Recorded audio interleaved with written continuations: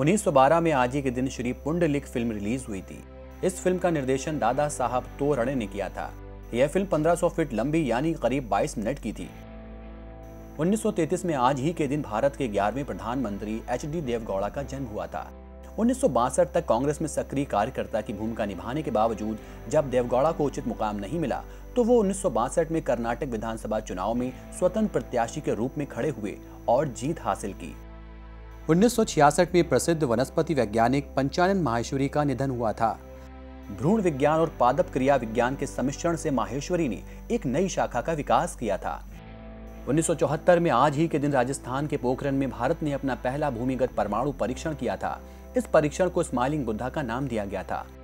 Operation की अगुवाई BARC के निदेशक डॉक्टर राजा रामन्ना ने की थी और उनकी टीम में डॉक्टर एपीजे कलाम भी शामिल थे। और आज ही के दिन 2009 में श्रीलंका की सरकार ने 25 साल से तमिल विद्रोहियों के खिलाफ हो रही जंग को खत्म करने का ऐलान किया। सेना ने देश के उत्तरी हिस्से पर कब्जा किया और लिट्टे प्रमुख वेलुपिल्लई प्रभाकरण को मार डाला था।